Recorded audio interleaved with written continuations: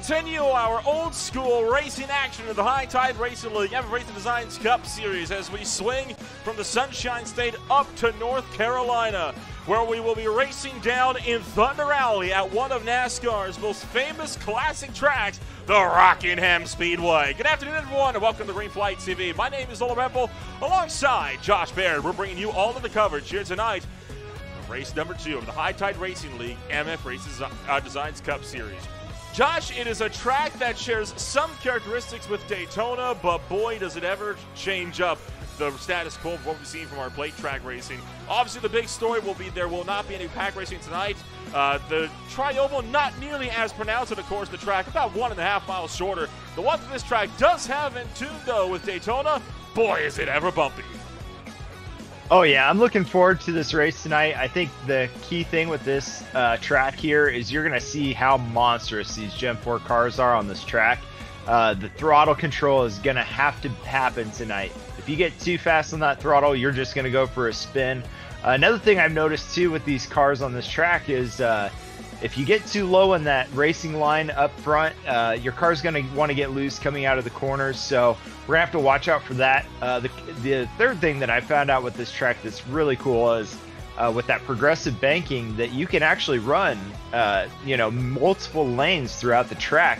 The thing that they're going to have to be aware of with these uh, higher lanes, though, is it's going to wear out that right front. So tire management is going to be key tonight as it so often is when you get down to these older racetracks. It's not a track that likes to be overdriven. We are, of course, going to be watching for some wild incidents throughout the course of this evening, particularly down the back straightaway where that wall does not fl- uh, sit flush on that perfect 90 degree angle. Carl Long found that out the hard way back in 2004. And who knows, we could very well be seeing some drivers uh, experience that tonight as well. I've seen a couple of ARCA cars go bare rolling down the back straightaway here for the major series. And then, of course, uh, even in the DNGG IAL Truck Series, when they raced here last year, you had a driver that got kicked up on his roof and tumbled down the back stretch as well. It's ever a place that can provide some good entertainment. Of course, the point standings working into tonight's race after taking a very shock win uh, from uh, from the race in action last week at Daytona. Michael Ashmore is going to be sitting on the top of the points board here tonight as the uh, driver for that number 98 car taking. I think a very surprising race win that none of us were really expecting, right? A four wide drag race out to the line after Eddie Hagy got turned by Ty Marasco coming off the final corner, puts Ashmore into the lead by just one point. But hey, it's still early in the season. There's a lot of chances for these points to swing around. Yeah, so after reviewing that race, I've noticed one thing was Michael Ashmore actually started from the back of the pack in Daytona. So to see him go from the back of the pack to the front was huge to see that uh, that kind of finish from him. So I'm excited to see that kind of uh, drive again tonight from Michael Ashmore. Um, maybe starting a little further back in the pack and then have to work his way up. Another one was Matthew the Magic Johnson he had an epic race last Sunday or last uh, Monday night when we uh, came through here because he was involved in so many of those incidents and still came out in second place. So I'm excited to see some of those guys that are up front um, try and maintain that points lead. But uh, there's also the the flip side of that coin where guys that we kind of expected to see running in the top of the championship standing right now are sitting back 10th on or you know worse than 10th. So I'm actually interested to see some of those guys try and make up for those maybe bad starts that they had at Daytona last week. It'll be no doubt be an interesting ride to see how everybody's going to be able to shake on uh, shake things up as we'll be looking set to drive ourselves deep into race number two here tonight from the MF Racing Designs Cup Series with the High Tide Racing League at the Rockingham Speedway. It is about high time then that we take a rundown of what your starting grid is going to look like as we get set to go racing for 150 laps from the rock. Started on the pole, you'll have the likes of Nick Nickerson with a 23.450 alongside Tony Hillbrand, separated by just three hundredths of a second on the front row. Brian Dees is down at the number three spot with Sean Britt down in fourth. Dalton Kilrose starts fifth. Connor Gibson is sixth. Benjamin Lacey is seventh with Michael Thorpe Jr. in eighth. Dustin Ping and Jason Greenwell round out the top ten. We have Kevin Foster in 11th place, Eddie Hagy sitting in 12th with Scott Schuer 13th, and Ty Marasco on the outside in 14th. Uh, Steve Ulrich will be in the 15th spot with Michael Ashmore sitting in 16th and Mike Massengill rounding out the field in 17th position. Field is relatively set then, just waiting on Gibson and Ty Marasco. We see a lot of the names that we're used to seeing at the front of the field now uh, in this race with the racetrack that doesn't so much rely on drafting racing action. Of course, uh, the number two car has proven that he's got a lot of speed underneath him last season. Did not make the full season, but still a driver that could be contending for a race win tonight. And then, of course, Sean Britt as well, the driver that is just behind him, started in the number four spot. Britt made it to the final four at the Charlotte Motor Speedway and unfortunately crashed out of that final race and was not able to go for a title. Looking to improve after a bit of an up and down day from Daytona. Yeah, Sean Britt, I'm expecting to see some good results from him tonight. Another one is Tony Hilbrands. Um, I saw him qualify, I believe, second uh, at Daytona the other day, and he ended up not finishing well. I believe he ended up in uh, 16th position when it was all said and done. So I expect him to be having a, a good run tonight with the Rockingham Speedway uh, being more of a preferred track for him. I think he I think he feels pretty comfortable in this car, so uh, I'm interested to see how it turns out for him.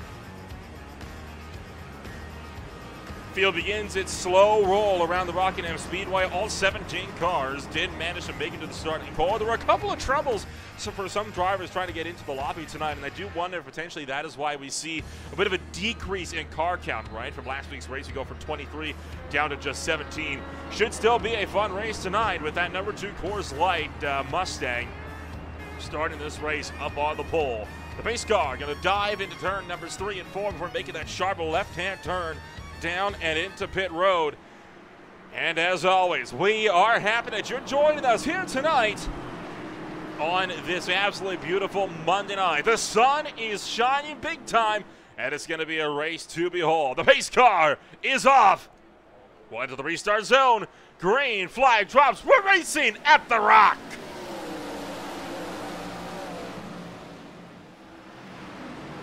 Yeah, we got uh, Nick Nickerson down into turn numbers two, coming out uh, pretty low there, coming out of two. It gets kind of tight coming out of that corner, so it's good to see those guys sticking side by side as uh, they get ready to go through three and four, and they're still sticking it out uh, too wide up there at the front of the pack.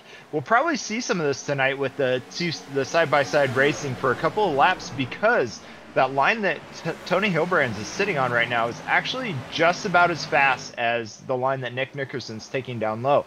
The problem is, is if he stays up there too long, he's going to run out of uh, grip on his right front tire. Nick Nickerson leads lap number one, and he'll now lead lap number two to green as we continue to hightail it up and around the Rockingham Speedway, further towards the back of the pack. Almost a bit of two wide action between Dalton Kilroy and Dustin Ping that were getting a little bit close, but they'll remain single file. Oh, one car on the outside wall. That's the 31 of Connor Gibson sliding back. Yeah, Connor Gibson going into the wall, uh, and there he is riding the wall again. Uh, this car, when you uh, oh, right grab the wall broke. like that, it's really hard. Yeah, it's really hard to get out of there. So he'll probably come down, uh, take some repairs, which will knock him a couple laps down. Unfortunately, yeah, you can see his right uh, front tire there canted to the right, which is definitely not designed to be that way. So um, he will be out of this contention for this fight here. As a little further back, we have Michael Thorpe. Oh, and that's where uh, Gibson hits the wall there. Michael Thorpe trying to go underneath. I think just getting a little loose. If you uh, just hit that throttle a little too hard, you're going to run into problems like that coming out of the corner. Those small little problems that can crop up and just give you an absolute world of hurt. But for now, we remain green flag racing with Connor Gibson uh, going to be dropping down. He is back onto the racetrack, although that uh, Impala is going to be very much a wounded warrior now as he's going to work his way back up around the high banks of turns three and four. Ty Marasco going side by side with Eddie Haggett. The two drivers that collided on the final lap at Daytona, pointed them both at contention for a win, scrapping just for 10th place. I like watching uh, Ty Marasco here going down low on it, going in through turn number four there. The problem with that car is coming out of four, it can get a little loose, so you got to be really good with the throttle, and it takes a lot of uh, talent to be able to get the car that low on the track. So uh, it looks like he's going to make an attempt here. It seemed like Ty's got a little bit more speed going through three and four here. May get right back on the bumper of Haggy, so Uh, and has here we have number four coming up. It's Schuer coming up alongside Ty Marasco as they go into turn number one, taking that low line as Ty Marasco is forced to go high there. Trying to go high on the racetrack. Marasco will poke his way up and around as Scott Schuer will take that one down low into three and four, not able to close up to the back bumper of Ty Marasco. So Marasco maintains his 11th place run for the time being. Right now, a lot of single file racing on the racetrack, but this was to be expected, right? When you get these cars that are not able to go side by side as effectively. Whoa, Thorpe really breaking out the back end there, coming out of turn number uh, turn number two. Yeah, Thorpe's got some dirt skills, I swear, because I've seen that guy so many times catching catching those slides and being able to save them. And man, what a slide that was, and what a save that was by him as well to be able to keep that going strong and only lose one position out of that battle. So, and oh, as he gets a little loose again coming out of that corner, you really have to be careful with the throttle on these cars because uh, just even a little bit, I, I mean, 50% throttle can be enough to send you around. Look at how much wheel work he's having to put into that number uh, 34 machine as he slides all the way back to eighth. Dalton Kilmer will get by him. So will Benjamin Lacey and Dustin Ping. Well, all that's been going on. Tony Hilbrans has been trying to run down Nickerson for the race lead again, and that gap got down to about 0.12 for just a second. So Hilbrand's right now is on the charge. Hilbrand's doing a great job of keeping up alongside uh, Nick Nickerson. Um, you see him taking that real low line right there along the apron. That's really good for his right front tire. So um, as long as Nickerson keeps that middle middle to uh, low lane, he'll be fine. I think. Um, force Hilbrands to go higher. Uh, but uh, as, if you if you go higher, you're going to start burning out that right front. So he really has to manage his tires well, or Tony Hilbrands is going to be in the lead before too long. And then, of course, Ty Marasco still in his battle with Jason Greenwell now for the number 10 spot. Scott Schuer still trying to see if he can hunt these guys down from just in behind. You ride on board with Ty Marasco and take a look at what it's like on board of a Gen 4 stock car trying to close the back end of Greenwell. He didn't work going around the inside. He's going to try to set him up now for the outside of 3 and 4, trying to get that slingshot run. And look at the momentum he can carry around the top. Yeah, the top line's amazing to watch here at Rockingham. It's it's a pretty unique uh, situation to this track, but um, seeing him go down to the inside as well, seeing him work both the lanes has been amazing to watch from Ty Marasco. And another thing I noticed too in that last lap was uh, Greenwell taking the brakes really deep into the corner. That's a that's a good way to have a defensive driving on this track is to brake a little later, brake a little deeper into the corner, so that way that car can't get around you. Marasco completes the pass for 10. So the driver, the number one MF Racing Designs uh, Mustang, is going to put himself into the top 10 for the first time all night long on lap number 15 with Scott Schuer. See if he can try to run down this gap just behind him. Greenwell has potentially burned up some of that equipment too early in this race. He's already down one position, so Greenwell right now is playing a defensive game. Yeah, Greenwell's got a tough task ahead of him because we're only 16 laps into this race, and it's going to be about uh, 30 more, 20 to 30 more laps before a pit cycle for him to get fresher tires. So uh, all you can do here is uh, try and do some defensive driving, try and cool down that right front, and uh, keep it straight. So uh, because this will be a race of uh, some attrition, as you'll see some some of these cars just losing control on the exit. Well, we've already seen some of that attrition take hold in the form of Connor Gibson, right? The number 31 machine having to body slam, well, not having to, but he body slammed the outside wall early in this race within the first 10 laps, knocked that right front toe out, and now sits one lap down in the lucky dog spot. But hoping that no more drivers will go laps down to prevent him from getting that spot if a caution comes out. Dustin Ping and Benjamin Lacey fighting for the last spot inside the top five. Lacey to the inside of three.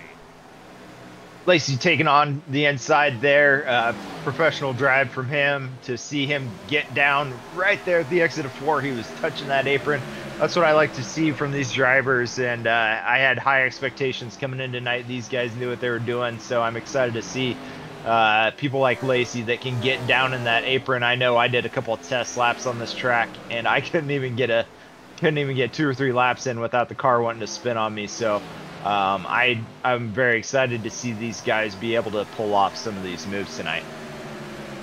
Already about a 14 second gap from first to 15th on the racetrack. Then uh, Steve Ulrich, the number 52 car, sits as the last car on the lead lap uh, with Carter Gibson just behind. And Gibson will look to get around the 52 car. That's no big surprise. Gibson was fighting for spots inside the top 10 uh, prior to him to that outside wall. Thorpe trying to attack Eddie Haggy onto the inside, but the 97 car continuing to hold firm just for the time being with that 34 machine lunging for the inside of turn one, and Thorpe washing up the track, although he'll end up missing the 97.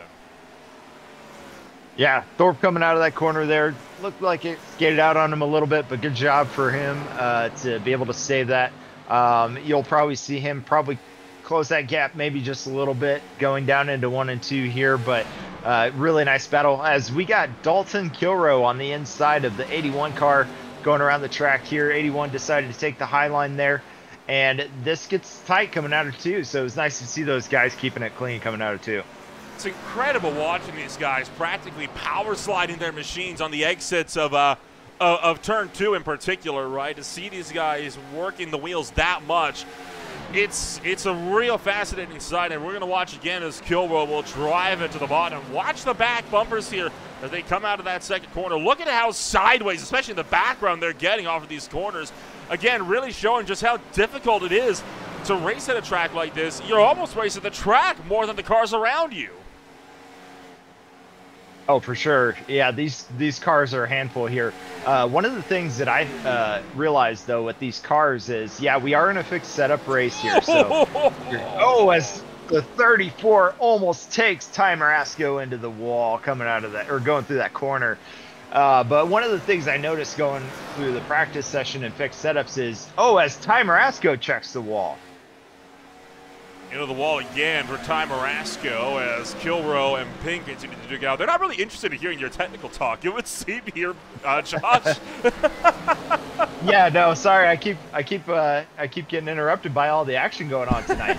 um, but with a fixed setup, you can actually adjust your steering offset. And I found out that the the larger the steering offset, so like uh, 10 to 1, 12 to 1.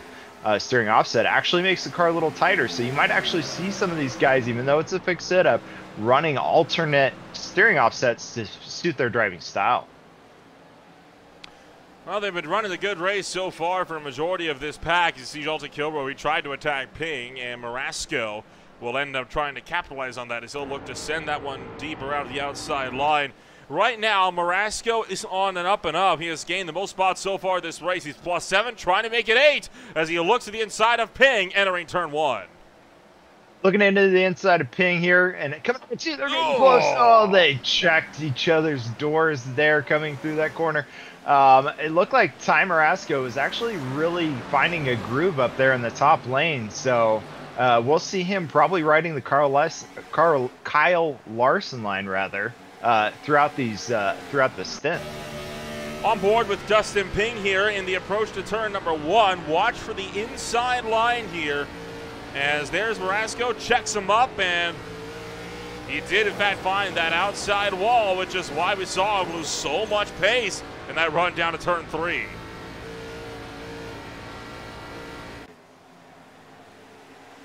Yeah, we got these guys going through uh, the front stretch right here. You know, Kilrow and uh, Ty Marasco, oh, as we got a guy into the wall a little further back, I didn't catch the number of the car. Haggy. Taggy getting into the wall, and then Ty Marasco gets loose, just going down the straightaway. That just goes to show you how much power these cars have going through the going through this track. It's a lot of acceleration power, not so much but aerodynamics or grip up the road. Brian Dees now trying to duke it out with Benjamin Lacey. There's two drivers that have come together a couple times on the racetrack in season number one, duking it out for fourth place. Lacey to the inside. Looking like Dees is going to let your defending champion take the fourth spot away yeah, Dees is probably playing a little safe here. Uh, I imagine he's either cooked his right front or um, he's just saving that race for another day. Uh, you know, oh, as we go three wide, getting ready to go through turns one and two. Ty Marasco on the bottom, Dalton Kilrow in the middle, and then uh, Haggy on top. And then Haggy checks the wall, through, going through that corner as Ty Marasco is still on the inside, and Michael Thorpe Jr. going right into his bumper These guys cannot get enough of the racing action as he thunders down to the front straightaway. Look at Marasco behind, trying to keep Thorpe and Dustin Ping at bay. Thorpe to the inside, slides way up the hill. Ping just has enough room to poke his nose into the middle. And Scott Schuer tried to look for the inside, couldn't get there. Ping back into the outside wall. Give it up for Thorpe and Schuer as Ping is muscled out to 11th. Yeah, Ping just had an unfortunate event that happened there. When you get that close and uh, with these bumps, you're you're gonna uh, be bound to check into that wall just a little oh, bit. That's why oh, as Thorpe goes into the wall. I imagine that's going to be some damage for Thorpe. Um, we'll have to see if oh, oh as he gets loose yeah, and checks that, into the wall again, he's probably got some steering damage at this point. That right front is tore up, and you can tell that car has seen better days. He's going to take it into pit road this time by and the Uno number 34 Charger is going to be down and in. And look at how much that right front's been compressed into the side of that vehicle. Not a pleasant sight for the number 34 who was on such a good run. Michael Ashmore also into pit road, last week's winner. Going to take a look at two separate replays here. First one is going to be what happened to Ty Marasco that put them three wide. He struck the wall out of four, lost control, and holy cow, Kilrow just managed to fire that one up the middle. Kilrow, second week in a row that he's had some pretty wild dodges here. So, oh my goodness, that was extremely lucky there. Partially good driving on his his, his part too. I didn't couldn't quite hear if uh, he let off the gas there or not, but uh, kudos to him if he did because that would have been devastating had he made contact there. And then here we got uh, Michael Thorpe Jr. just getting tight. I think he braked a little too late going into that turn uh, and met with the wall. And then obviously here he's just along for the ride with the broken steering. Well, so. look here. He checked up to avoid oh. running to the back of Marasco and locked up. Okay. Yep, that makes sense then. That's a hard lick as well, but that was a close call. Kilrow jammed the binders, and that's why he ended up losing position himself, and that could have been an absolute disaster. But we're catching up to our first run of green flag pit stops. We were hearing uh, earlier in this race, you know, 40 to 50 laps is going to be that range, right? Lap 37, could that be why we've just seen Michael Ashmore come down on lap 33? Yep, you make a good point there. Uh, this could be a good time to start thinking about your tires, and especially if you've been running that higher line or pushing a little deeper in those corners and uh, burn up your right front, this would be a good time because you're probably going to start losing about a second, uh, a second a lap at this point in the race. So uh, this is where strategy starts to come into play, and uh, so we'll start seeing some of these guys take that early gamble to get down there before uh, everybody else to try and see if it gives them an advantage later on in the race. Kilroy and Schuer still battling side by side for what is now seventh on the racetrack as Scott Schuer trying to hang the inside, but Kilroy not letting him breathe up on the top. And oh, I think Kilroy might be forced to give it up there. Scott Schuer still is a little bit alongside, and now he'll finally pull clear into turn three. So Schuer through to the number seven spot. It's a good run for Scott Schuer. Uh, in last season, he was one of those drivers that we typically saw running more towards the back of the field. He's fighting for spots closer to the top five now. It must be the Gen 4 car. I think uh, when he, he, might be one of more of those old school racers that likes the likes to wrestle the cars more than it uh, sticking to the track. So maybe oh, as we have Tony Hilbrands taking an early pit to try and get an advantage on the track. Right at lap 41, we'll see the driver of the number 92 car come down into pit road. This will be for a scheduled pit stop on the racetrack. Dalton Kilrow still looking to the inside of Marasco. Meanwhile, to try to keep the number one at bay. Uh, Eddie Haggett, Scott Schuer just up the road as well. Uh, still scrapping about amongst themselves as Marasco carrying that one around, and Kilroy will not find himself coming to pit road this time. Haggy and Schuer still remain two big honchos up the road fighting for spots inside the top five. Great job by these two drivers. It looks like they're keeping it nice and clean. And Schuer is, he must have saved his tires because it seems like he's on a roll right now as he's passing through the field. He uh, he made simple work of Kilrow, and now he's right on the tail of Haggy here. So, uh, good job for uh, for saving those tires till the end of the stint, and he is on a tear as he gets around Haggy going into turn number one. Jason Greenwell, Kevin Foster, both coming into pit road. We'll keep eyes on this big battle right now for fifth as Schuer continuing to try to hunt the inside of Eddie Hagy this time by. If I'm Scott Schuer, I'm now considering an undercut strategy. I mean, you're faster, but Haggy right now is slowing him up by taking that line away that he needs to make the pass happen.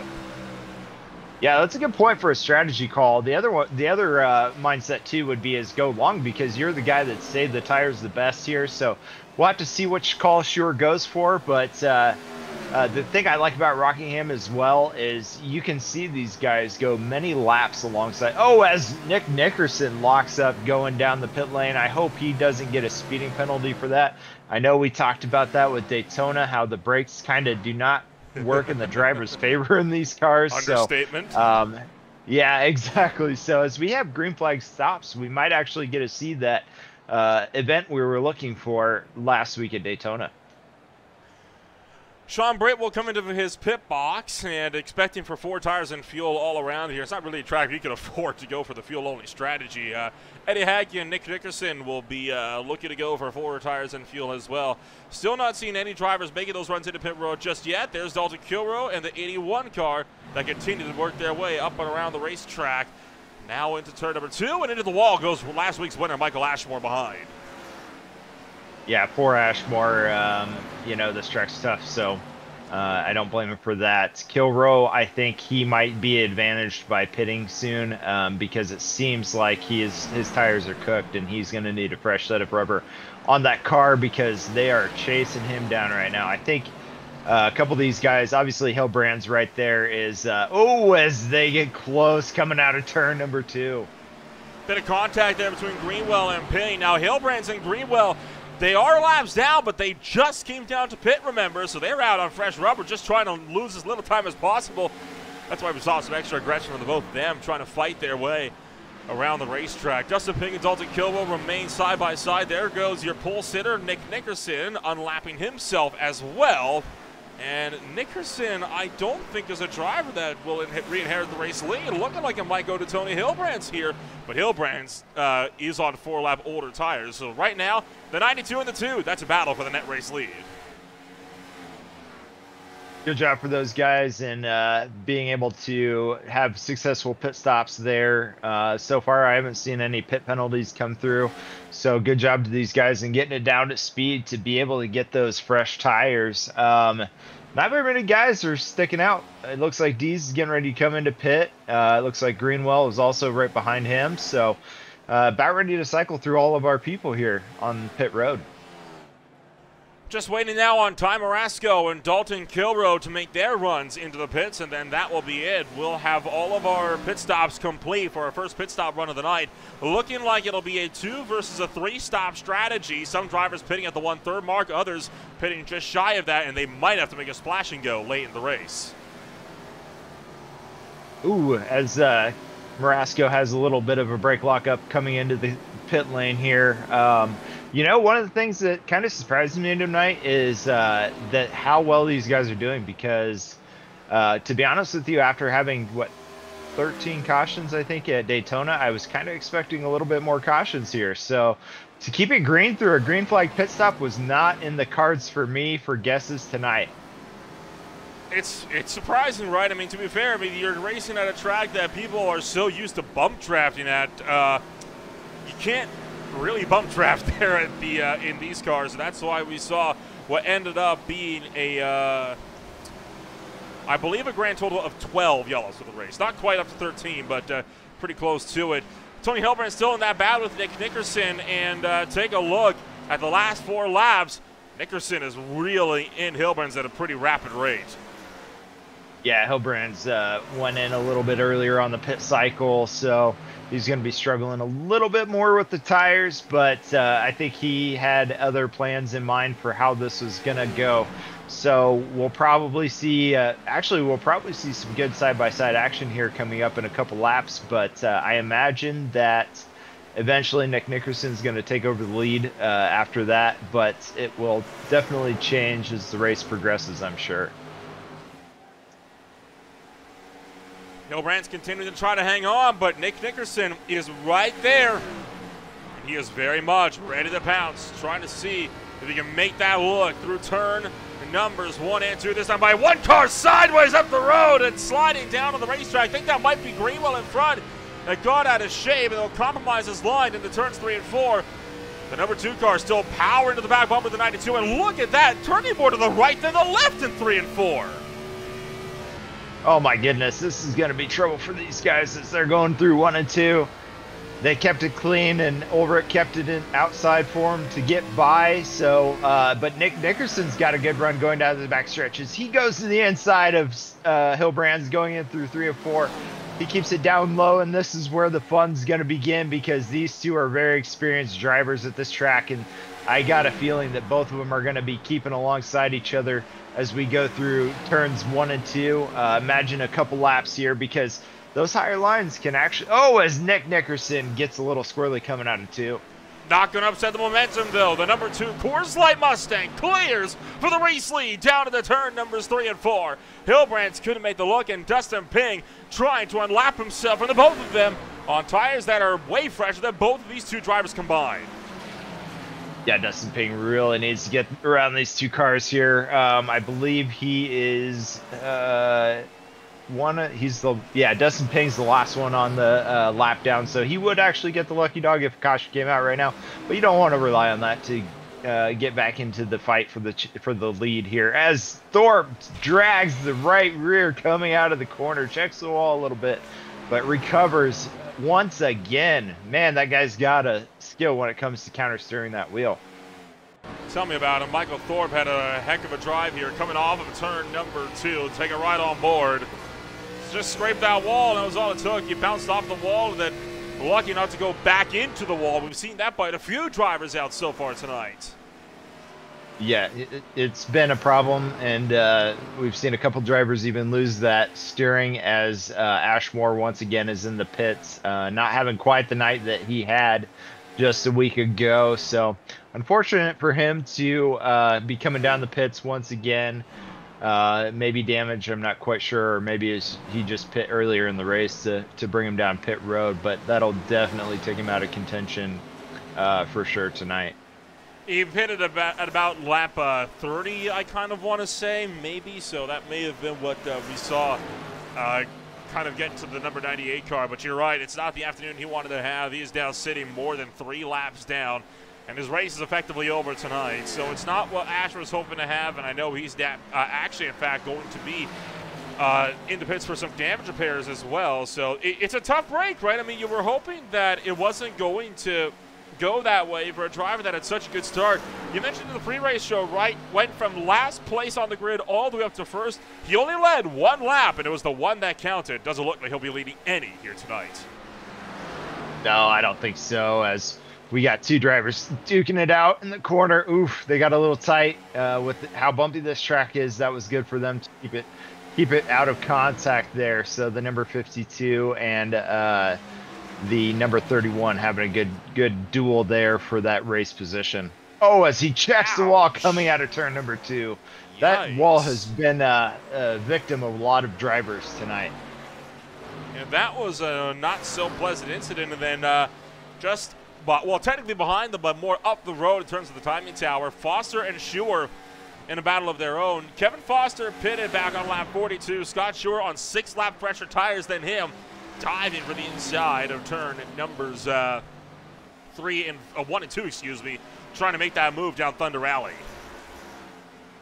Uh, number four is going to definitely make quick work of the number eight with those fresher tires. But another person I just looked at on the timing sheet Dustin Ping got his lap back. So nice to see Dustin Ping get around both those leaders to get his lap back. He will not be uh, the one receiving the lucky dog. Now maybe Kilrow will be the next guy in line.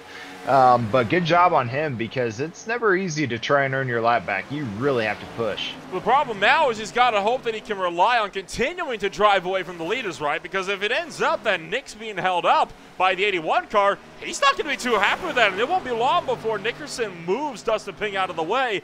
So Ping's got to now keep that pace up to drive away from the race leaders who are now trying to bear him down. Oh yeah, being Ping in this situation, he's got to be nervous as all get out because uh, I know if I'm ever being chased down by the leaders, I'm uh, just constantly watching my mirrors, trying to keep myself out of that situation.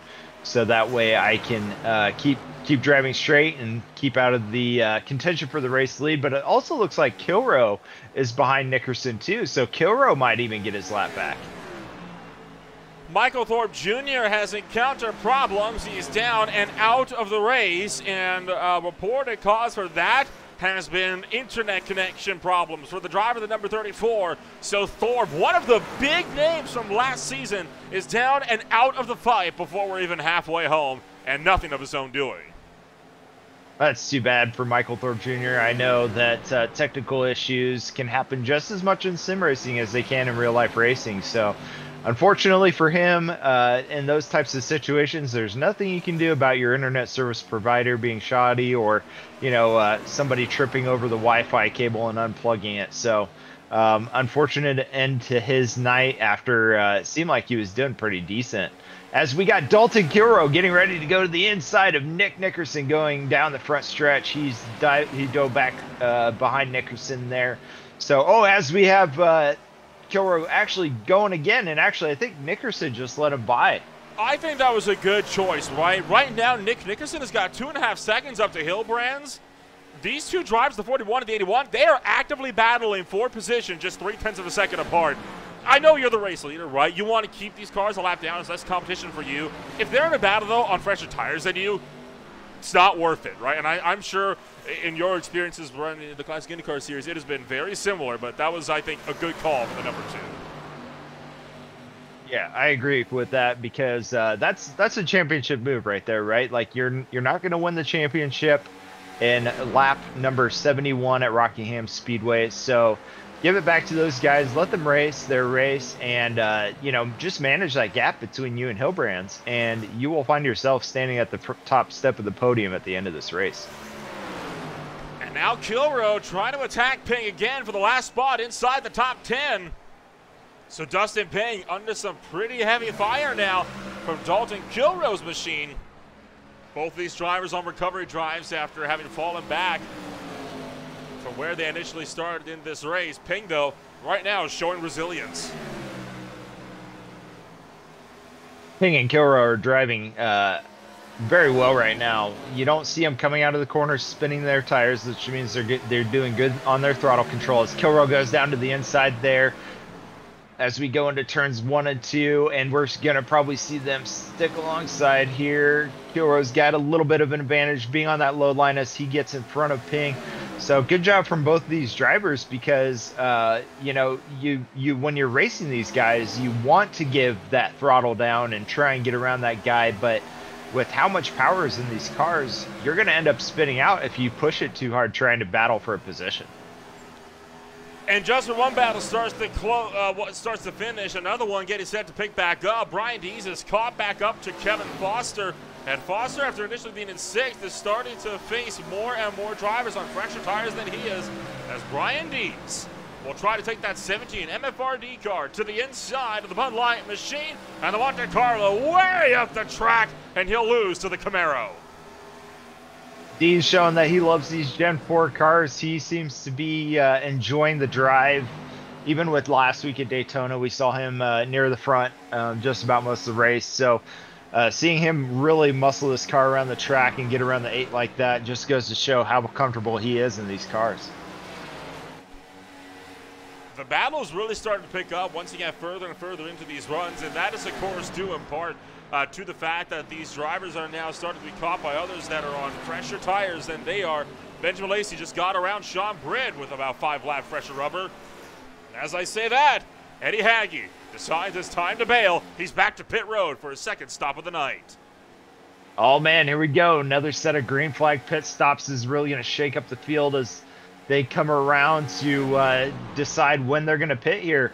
Um, as these guys are racing so well, uh, I haven't really seen an opportunity tonight to even uh, that would even breed a caution. As I probably say that I'm probably going to jinx this, but uh, they're racing extremely well tonight. I'm super proud to see these guys uh, monstering these cars around this track because it is not easy, I promise you that. So to see these guys uh, out here duking it out and keeping it clean is has been quite the sight to see.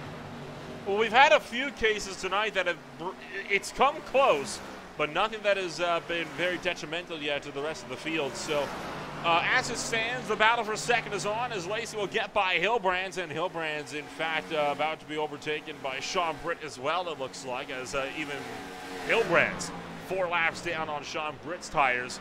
But we're approaching lap four, uh, lap 80, right? And that's where we'll really start to see the second pit stop window open up in earnest, especially for some of those drivers that pitted right around that lap 40 to 45 mark. So Hillbrand's pitted a little earlier than the rest of these guys, so I imagine his tires are pretty shot at this point. So won't be too long before we see Hilbrand's go in there. Um, he'll probably try and stretch this run as long as he possibly can, though, to uh, make his the rest of his race last a little bit longer. And uh, man, Haggy just went down, got really close to Sean Britt there going, and then got underneath him. And now he's fighting under Hilbrands to take that position away from him, and Sean Britt's to squeeze right in there behind him.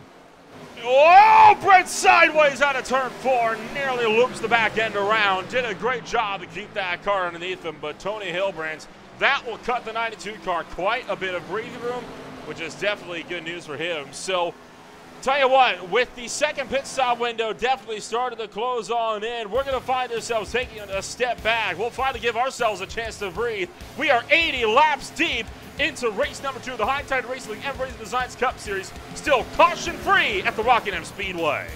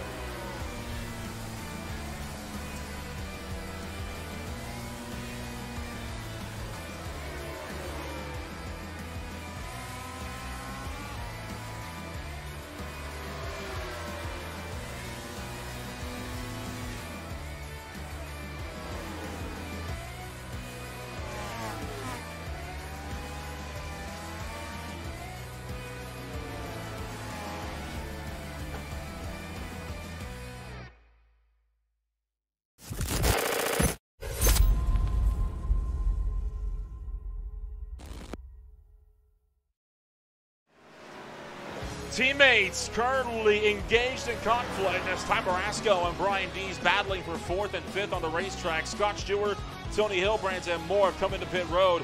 Right now, after Scott Stewart comes in, we are still waiting on the entirety of the top five to make their second pit stop run of the night. That includes right now your battle for the podium position between Marasco and Dees.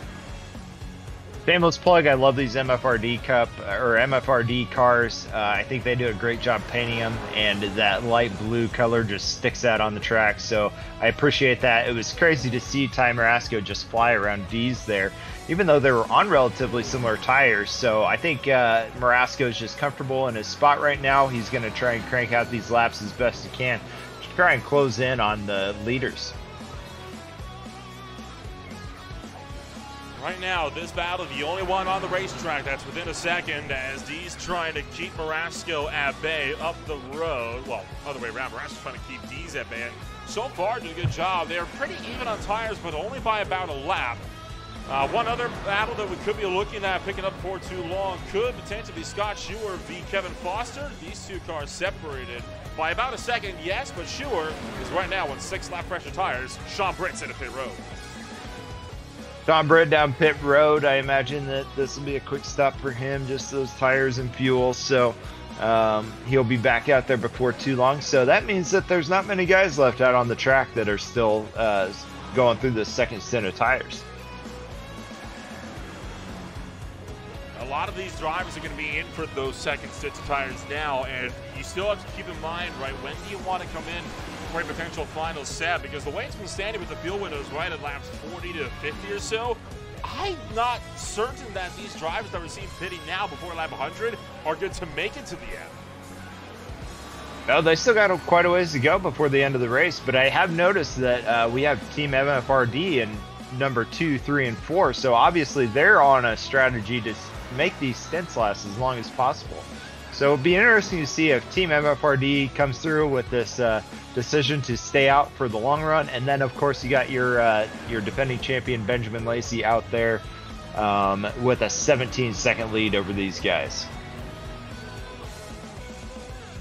Well, while we're still waiting for your top five to come down to pit road, we'll go over some of the upcoming shows here on Green Flag TV.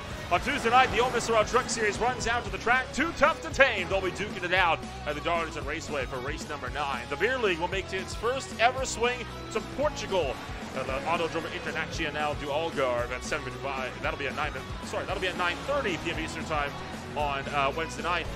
And then the Speed Tires Plus Cup Series will be the first of two series that will swing to Austin, Texas. They'll be racing at Circuit of the Americas, preceding the Classic IndyCar Series Open, and that'll be taking place on Sunday, uh, well, morning slash afternoon, depending on where you're at over here. Uh, uh, in the states, so it'll be interesting to see how these how this week race is going to go. And they don't forget the VSCA Sports Car Championship on Saturday has a very big race, the 12 Hours of Sebring, with the first race that will have rain and Nabel for the Endurance Racing Series. So who knows? I think we're in for an absolute barn burner of a show all throughout Saturday as well. Myself, Lorenzo Bonder, Austin Estrom, and Ryan Walker will be bringing you all the action from there. Right on cue at lap 100, Lacey's down the pit road. Seeing Lacey come down pit road, he had a very significant uh, lead over the other four or the other three drivers, excuse me, that are uh, that were out on the track. So um, I would love to see how Lacey comes out at the end of this. Um, he's obviously been driving driving very well tonight.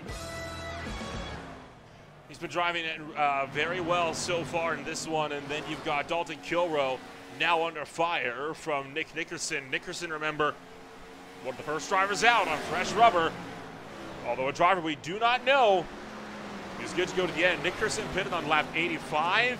That's a very big way outside of the lap 40 to 50 window. By my count, he's going to be about 15 to 20 laps short on fuel.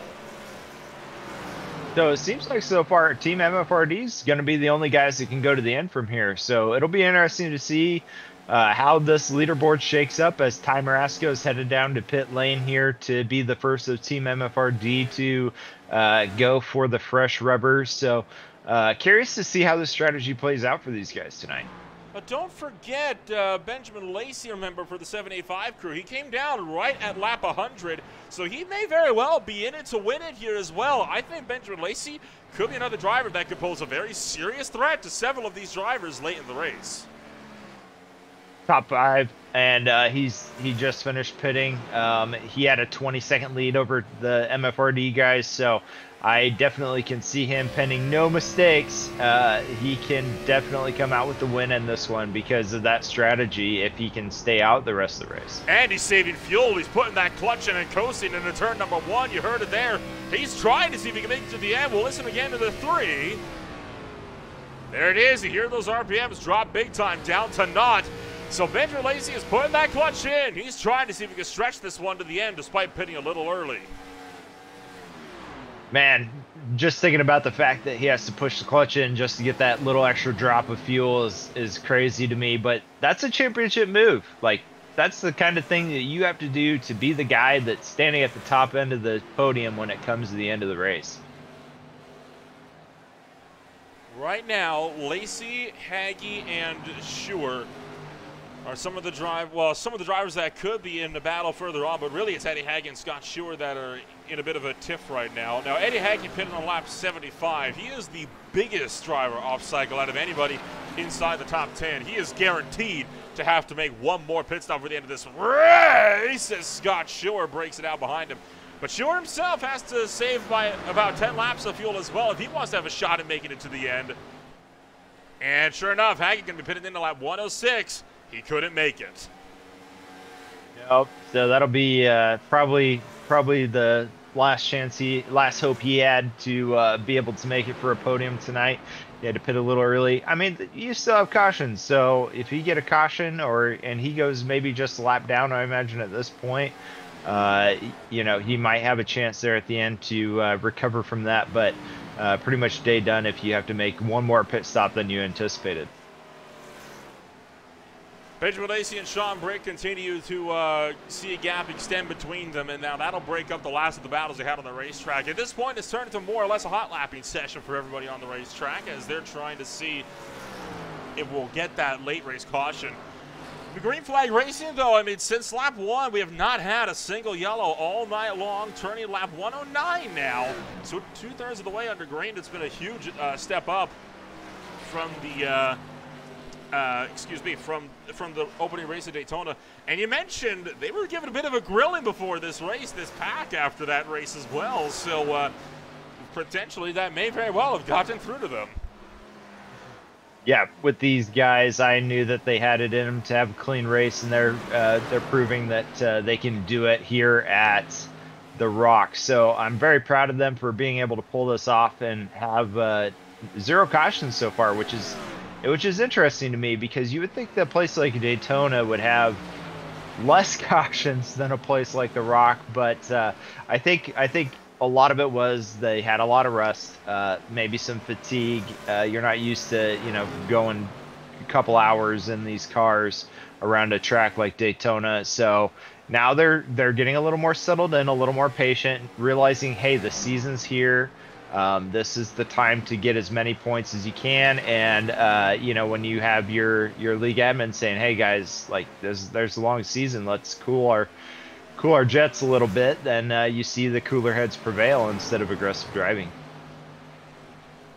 Dustin Ping and Ty Marasco still looking like they want to duke it out with one another. Marasco should make quick work of Ping here on 20 lap pressure tires, and sure enough, he'll take that one to the inside of turn numbers one and two, and makes quick work of the 81. So put Marasco uh, into eighth spot. That'll put him right now. Five cars remain on the lead lap, but uh, still with a long way to go and if one caution comes up, that turns this whole race on its head.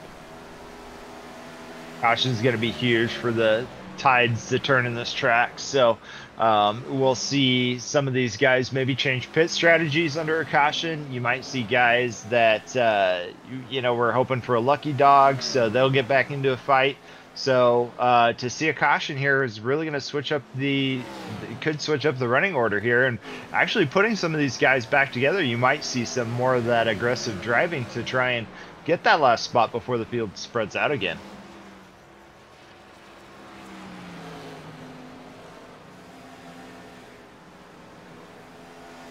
So taking a bit of a rundown through the field, uh, Nick Nickerson, Tony Hilbrands, Benjamin Lacey, Sean Britt, and Scott Schuer remain as the last five cars that stand on the lead lap. Foster, Dees, Marasco, Ping, and Kilrow all stand one lap down. And then two down for Greenwell, three down for Haggy, Messengill and Gibson, both four. Uh, Michael Ashmore has been in the pits for a very long time and looks like he may very well have called it a night back on lap 69. Of course, Steve Ulrich, uh, he had a big hit with the outside wall, and that's what forced the 52 car uh, into pit road. And then, of course, Michael Thorpe Jr. had those technical problems uh, with his internet, which is why he is sitting down and out of this race as well. And Gibson's closing on a Messengill now as well, so we got a fight on our hands for 13th. Yeah, it's too bad to see those those three guys in the race with uh, DNF tonight, especially Michael Thorpe Jr. I don't think his season's quite starting out. Oh, as the 31 gets a little loose on the inside of the number three. But uh, I don't think that Thorpe uh, is really expecting his season to come off this way because it looks like that Thorpe actually uh, finished in seventh at Daytona and then did not finish here. So, going to be a struggle for him to be able to recover from uh, having two two finishes that probably were not what he was expecting. Well, he made a lot of progress in the MFRD playoffs last season, remember? I mean, he was one of the big drivers that made it all the way through to the round of eight. So Michael Thorpe Jr. is a driver that could very well be in some big contention here for the title, but has got to put together those good races. Remember, this is a it's a series right that has been slightly shortened from last season. There's not a lot of chances where you can uh, where you can make those types of mistakes. Well, no, granted, definitely. Just just to counter problems of his own. Uh, obviously, no mistake being made on his part this weekend.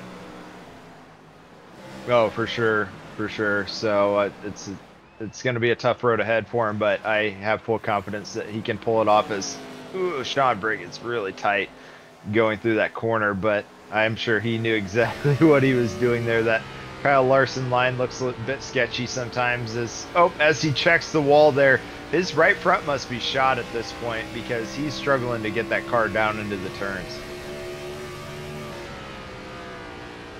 On board with Scott Schuer, battling him for that fourth position. Is Schuer going to take it down low into turns uh, one and two, and Sean Britt going to let him lift off and let him have it easy.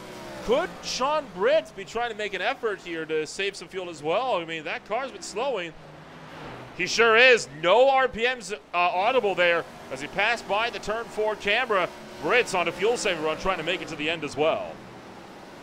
We're going to see a lot of guys trying to struggle to keep that fuel uh, mileage in check here with having all green flag racing so far. So uh, we'll probably see a lot of a lot of these guys slow up. Maybe MFRD will get their chance to come back up here and maybe Lacey as well with uh, I know he even had to save a little bit of fuel but so we might actually see MFRD charging through the field here because they might not have to save as much fuel as everybody else being the last to pit on that cycle. Tony Hilbrands, uh, Jason Greenwell both coming into pit road this time by they both could not make it to the end of this race. And remember, those are two drivers that we talked about earlier. They'd be in big trouble. Dustin Ping and Scott Schuer now both coming down to the pit road. So once more, we're seeing little cycle through. And Nickerson couldn't make it to the end either. The overall race leader is back in the pit road. Oh no, big problems for those guys if they have to come into the pits. The beautiful thing is for those guys, those those fresh tires can make a world of difference. It you're talking about almost a second a lap that they can make up, and with how quickly they're turning laps over here, um, they may be able to um, get some advantage there. But you might also just see splash and go. So we'll have to see. Oh, it looks like Nickerson's taking tires, so he's going to take advantage of the uh, one second faster pit times. Um, but some of these other guys, you may just see splash and goes. I'm not surprised we're seeing a lot of these drivers taking tires. So far, Eddie Haggy's the only one that has actually gone for the splash and go. I mean, 20, you could probably do it on the next gen cars, right? But you're talking like 26 extra laps on one set of tires. That's a long way to go with the Gen 4 cars. It definitely is. You can see some of these guys struggling just after 10, 12 laps. So, um, to but you got some of these guys here that have been doing this for a while, and oh, as Sean Britt gets tightened into the wall again, I don't think his car is liking uh, how tight it's been, so he's struggling to keep it off that wall there. And you know, the bumps and the turns can also play a factor into that as well. So um, it's surprising to see people that can run that high uh, going through the turns. You want to know how close Lacey is lapping the entire field? See that uh, that's that uh, second car, that well third car of the road, that black and green one. That's second place runner Brian Dees. Benjamin Lacey's lapped almost the entire field on this pit strategy that he's on right now. Benjamin Lacey's flying. Um, seems like he must be good on fuel at this point if he's pushing this hard. So Lacey uh, dominating performance by him today. I saw before these pit this last pit cycle, he had a 22 second lead over the last um, the over second place. So nearly already had them lapped last pit cycle. So going to be a dominating performance for Lacey. It's going to be his race to win for sure. So keeping it clean will be key for him at this point and just saving those tires. 22 laps to go, and I mean, this is not uncommon for Benjamin Lacey. I mean, he's had this before where he's lapped almost the entire field. He is a driver that just has that pit strategy figured out. If you mimic Lacey on the pit strategy, you should be good to go pretty much. He'll put Sean Britt a lap down, who is still continuing to save, which will mean only three cars remain now on the lead lap. Oh, a little wiggle for Lacey coming out of turn number two, but when you come out that low in two, it's uh, it's pretty hard for this car to keep straight because there's so much power to be put down on that car. So, like I said, this is Lacey's race to lose at this point. So as long as he keeps that clean, he should be good to go. As we got uh, Nick Nickerson getting ready to chase down the leader here to try and get his lap back if we keep this green all the way through, he's going to need that lap back to uh, to keep in this fight. But at this point, I think um, the best he's going to do is a shot at the second or third step on the podium. Dalton Kilrow under fire by Nick Nickerson, and Nickerson is good to go to the end. Kilrow is not. Well, Kilrow's good to go to the end, but he's on older tires. The number two car is going full chat right now, so the number two is going to look to get around Sean Britt here as well, and that will now put Nickerson as the last car. Well, sorry, the first car that's a lap down. So the number two Coors Light machine now just has to hope for a caution, maybe get himself back onto the lead laps. It's a pretty long way still up to Benjamin Lacey up the road. That's going to be Nick Nickerson's best shot. Um, we talked about fuel versus tires, and man, if he can get a caution, get that lap back, and have that much newer tires over Benjamin Lacey, it's definitely going to be a chance for him to win this race. So, Nick Nickerson praying for a caution as the 81 car dives down below Benjamin Lacey. Seems like he's he's uh, chilling out a little bit, trying to save the race as Nick Nickerson goes right into the back end of Lacey.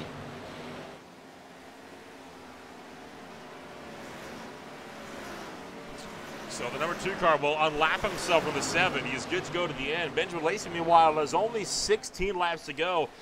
Nickerson, if he wanted to go for the race win, he would have to be about two seconds a lap faster than Lacey all the way to the end of this race. And right now, he is not hitting that mark.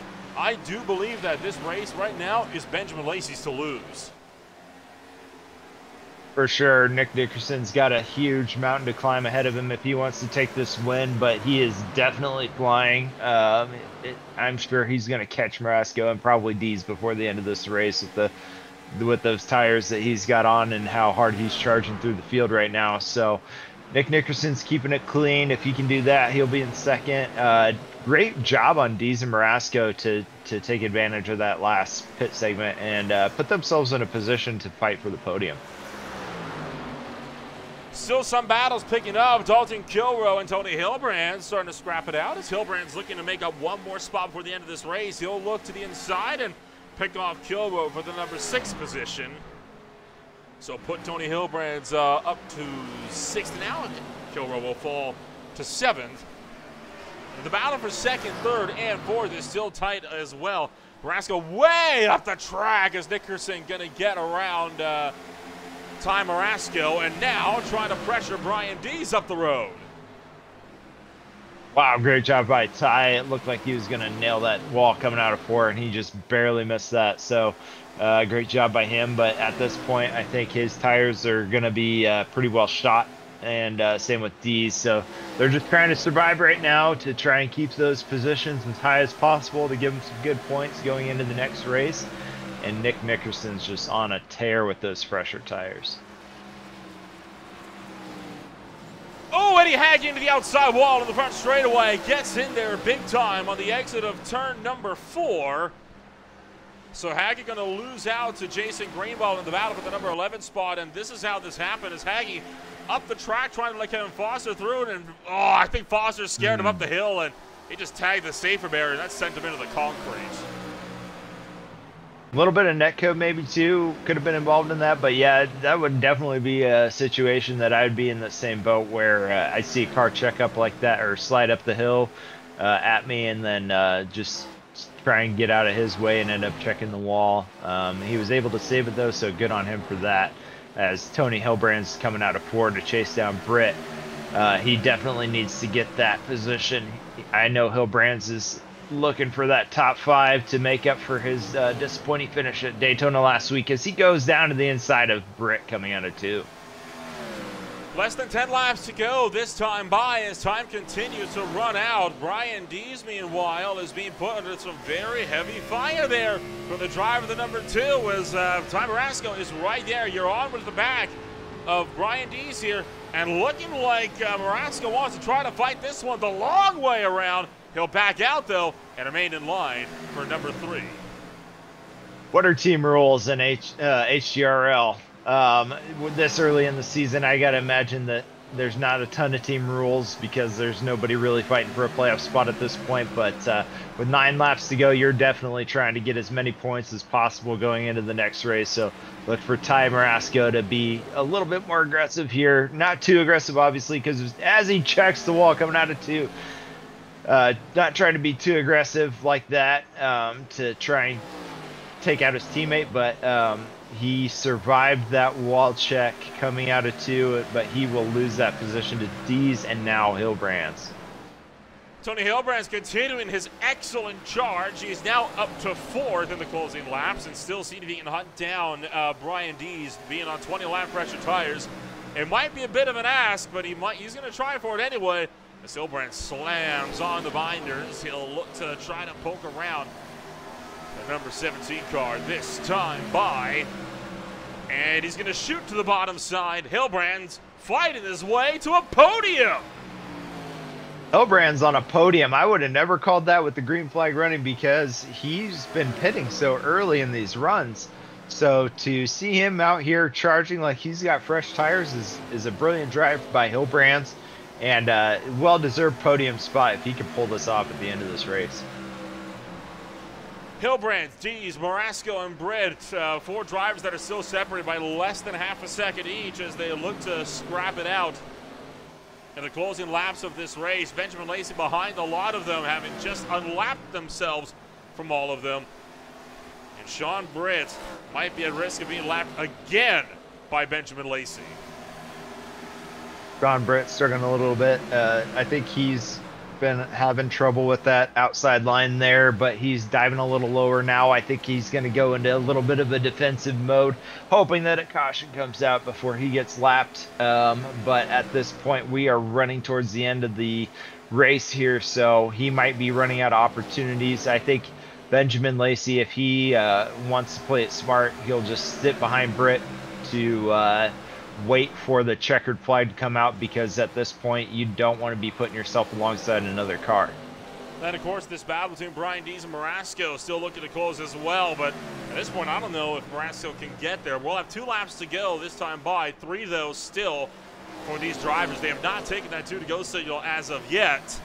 Marasco working his way out of the final corner. What do you think? Think he can get there? It seems like Marasco is having a little bit of trouble. It seems like he's wrestling that car a little bit. So uh, he may get on Dees, but it seems like I don't know if he's driving it just a little bit too hard.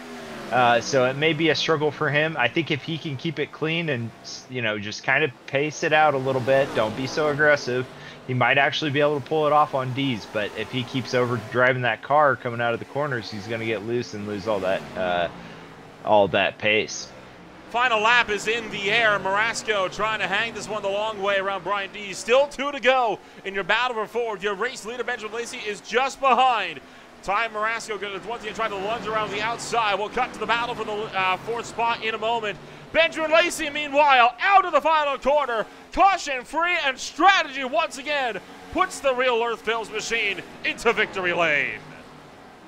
Beautiful drive by Benjamin Lacey. He just dominated tonight with a uh, 15 second gap over those guys on uh, over the the guys behind him. And here we go, Ty Marasco. Like I said, drove it, sa- drove it, saved, didn't overdrive the car, so he's end up going to take the fourth position away from Dees. But Dees won't be too disappointed because he'll finish with the top five tonight. But brilliant drive by Benjamin Lacey. And he is going to get the chance to now burn it down to the front straightaway after a very hard fought drive. He made the strategy call work for him today as Lacey will give North Carolina a smoke show in the Tri-Oval. Yeah, great job. That was a championship drive from a championship driver. So uh, proud of him for that. Uh, seeing some of those guys in the end try to catch up to him. Um, just didn't have what it took. I think if he gave us another 20 laps, it would have been a different story. But or even a caution flag would have given us a different story. But you know, sometimes you got to drive the best drive you can, and sometimes your strategy call wins. And uh, so for tonight, that was Benjamin Lacey's uh, race to win. Benjamin Lacey will be looking to take this one home into victory lane. It was a very wild night of racing as a whole, and they will get the chance to talk to him about that win at the end of the night. Uh, to take it home in victory lane, it will, of course, be the Real Earth Films number seven Chevrolet with Nick Nickerson down in the number two spot by 12 seconds. Tony Hilbrands was in third with Tom Marasco in fourth. Brian Dees was in fifth. Sean Britt, the last car in the lead lap, down to the number six spot. Dalton Kilrow, Scott Schuer, Kevin Foster, and Devin, uh, Dustin Ping, excuse me, will close out the top 10. You got Jason Greenwell that finished 11th, Eddie Haggy's in 12th, and Connor Gibson, Connor Gibson in 13th uh, four laps down with Mike Massengill. And then the last three guys, Michael Ashmore, who uh, won last week and did not finish this week, Steve Ulrich, Michael Thorpe Jr., all did not finish the race tonight. It was a wild race as a whole, and we'll look set to uh, give a chit chat here to all the folks uh, that uh, were in that absolutely thrilling drive throughout the course uh, of the afternoon. And we'll, of course, be looking to pick, kick it off first and foremost with Benjamin Lacey, the driver that is going to uh, come home as your race winner here at the end of the night. And we will look to see if we can get in touch with the driver from the 785 Racing crew, as it is the driver that, as always, utilizes strategy to absolute perfection. Benjamin, you're able to come home to take your first win of the season and it's got to feel good taking it off once again on strategy as you so often do. Yeah, strategies are literally the only reason why I think that W came in today. I don't maybe long run top three pace at the best, but Nick and Tony were uh, were class of the field. Sean, you could probably put in there as well. So I mean, I I feel pretty lucky to get this one. It's just thought if I could make it on fuel, maybe uh, the laps would wind down and work out in the favor, and uh, it did. But uh, yeah, got lucky. It was a plus six for you on the day. You were starting right around the mid pack. Uh, strategy, obviously, it's a much more different game than qualifying. Is that where you reckon your strengths may uh, shine still within these Gen 4 cars? I think uh, long run speed is where, where my, my strength is going to come in. Short run is probably not going to be it. Um, you know, qualified mid pack, that's just kind of a, a reference of, I guess, where, where I feel like my short term speed is going to be. So if it's going to be like a shootout for the for the win tonight, I definitely it would have been Nick and Tony and Sean battling it out, in my opinion. Um, I would have been nowhere near that picture. So I think long run, saving tires, that type of uh, that type of race is up my alley, and uh, that's what was running out tonight. So um, yeah, worked out. Uh, I guess to a strength that I have. And of course, looking forward now to the races going, uh, extending forward in towards the uh, next uh, few obviously race one was not the best way you wanted to kick off your title defense, but this is a good way as ever here to bounce back in race two. But we've seen you back on the podium for round number three. Hopefully, Vegas. I, I actually do love that track a lot, so uh, we'll see we'll see how it goes uh, through there. But you know, uh, again, you know, there's a all comes down if we have a good long run, you know, then maybe maybe we can get another podium. But uh, you know, we'll see what happens. Well, we'll uh, let you get back to celebrating. Congratulations on taking a hard fought race win. We will see you then next week in Sin City. Thank you guys, and I just want to give a shout out to uh, some of the sponsors we have uh, on the car, which we've got Real Earth Films. Um, do a lot of wildlife uh, film stuff, documentaries, and then also Filming the Wild, which is more of a, a YouTube channel uh, associated with them, and they give some uh, behind-the-scenes footage of how films like that are made. So give them a give them a shout out, give them a view, and Nolan Green Flag TV and all the sponsors we have of the league, man. Appreciate you guys. Thank you. Benjamin Lacey, your defending champion, taking it home with a race win here at the end of the night. We'll look to uh, pick up your second place runner for GFR here at the end of this one. Josh Baird with the number two car standing by as your runner up. Nick, congratulations on the second spot of the podium. Um, you know, towards the end of that race, I'm sure you were sitting there praying for a caution to come out because you definitely had fresher tires and uh, a chance at that race win there. How do you feel your performance went tonight, uh, considering that it was a green flag race and you you thought you may have gotten a caution there at the end? Yeah, man. Well, I wasn't looking for a caution. I was hoping that you know the other guys would want to pit for tires. Um, it stings kind of, you know, obviously uh, dominating the whole race and then losing at the end, but it's my own fault because I was I slapped the wall like with 10 or 15 laps before the empty to before the uh, end of my uh, fuel stint. I think on my second stint there and got some wheel damage. Not like that it forced me to the pits, but I had to pit because I was so slow. I was trying to look at my fuel going into one and I accidentally tapped the wall. So I had to pit early and that kind of ruined my two stop strategy. But uh, so then I just I just had to wing it. I had to go for uh, a three stop and you know split my last two stints on the tires and see if somehow I could make it around the track fast enough. But um, Ben was playing the tire saving mode and uh, fuel. I don't know if he was really fuel saving. I don't think he had to, but uh, all in all, you know, he just he was there at the end and stole another one from me. yeah, it's got to be disappointing when they feel like uh, you had the opportunity to be up there on the top step and you're sitting down there in second place. But it it's still something to be proud of. And after finishing 13th uh, at Daytona and then finishing second here, do you you feel like? I mean, I I know that you're more of the guy that's probably going to be looking towards those top fives. But do you feel like that? You're kind of in the groove now, and you're going to start seeing some more of those podiums and less of those 13th place finishes. I mean, I would assume that I'm going to be running for the win pretty much every one of these races. You know, those super speedways are kind of a crapshoot, and we'll see, man. I, I really enjoy these cars. Like, I think they're a ton of fun. They're an absolute handful, um, especially on a track like this. But sometimes when you enjoy a car, it just kind of helps you excel a little bit more. But uh, we'll see. I mean, you know, anytime you go into a league with like a new car, sometimes it takes other people a few or more races to kind of get a feeling with a car, especially one like this that's so fast on the rear tires that, you know, once uh, a couple other guys here kind of figure things out, then, you know, it's going to be an absolute battle and I won't be able to, you know, run around in first place. Um, but uh, other than that, man, uh, it was a good race. You know, I learned a little bit more about this car. I don't think I've ever actually driven this car on a short, well, kind of felt like a short track because of how ridiculously fast this thing is, but mm-hmm. um, definitely a, a fun race, and uh, look forward to uh, next weekend or next week. Yeah, it was so much fun watching you guys uh, master these cars around this track tonight. I know how difficult it can be just in my testing uh, before this race, and it was a nightmare to try and keep this car straight. But uh, any sponsors that you want to thank tonight, or anybody you want to thank tonight for this race? Nope, man. Just uh, you know all the uh, admins that do what they do for this league. Uh, it's a an awesome league. It's one of my favorites, and uh, I appreciate you guys doing the broadcast. You guys always do a phenomenal job. I love watching the broadcast. Yeah, thank you, Nick. We appreciate your time tonight, and thank you again, or congratulations once again on your second place finish.